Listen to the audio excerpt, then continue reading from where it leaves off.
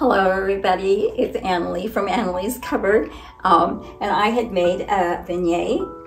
Uh, it's been up for quite a while but I thought oh it's really pretty so I did want to video it and, and post it on my channel.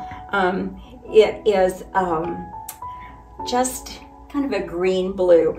I've had this beautiful uh, statue for maybe a couple of years. I bought it at my favorite place here in the city called Mozart's. And she's just beautiful. She's large. She has a little bird in her hand. And I had several sizes, but I got to get the large one and I was real happy with that.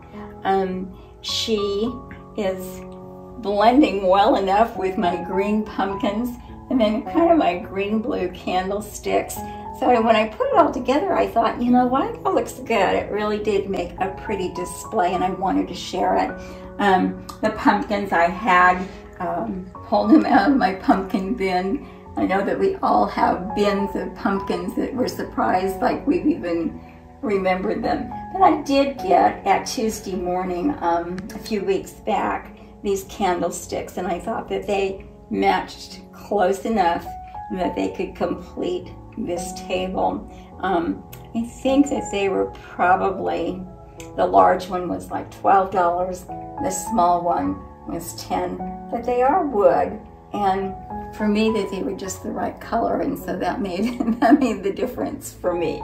Anyway, I want you to just take a closer look at this and just take in the beauty of my bird lady and how she's overlooking those pumpkins and I have had her up now for probably a couple of weeks or more and have enjoyed seeing what a pretty display it made. So I hope that you think that it's pretty. And until we meet again, I just wanted to thank you for viewing. And um, if you haven't subscribed to my channel, I would welcome you to subscribe. Press that notification button so you will be getting notifications of my future uh, videos. Uh, but until then, until I see you again, um, you have a blessed day. And thank you very much. Bye-bye.